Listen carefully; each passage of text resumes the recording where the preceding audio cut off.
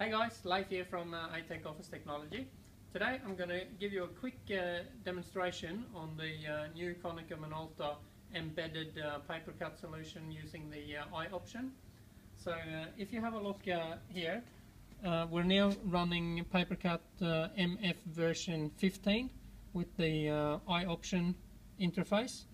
This uh, option does need uh, the extra memory and the web browser web uh, browser license to be installed. And I'm going to show you how the how the login interface works.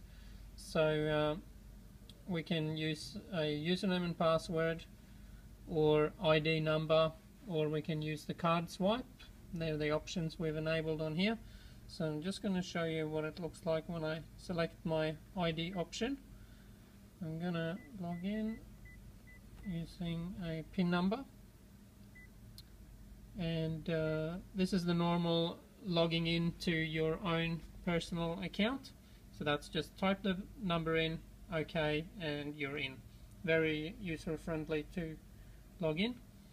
I'm gonna log back out again. And the second option I'm going to show you is if I'm logging in a user that is using a list of shared accounts which is slightly different I'm going to select my ID number again tap on the ID enter a new ID so this is of typically uh, say a staff member that have the uh, account shared account list enabled. So the next option there is to select the account. I'm going to select marketing.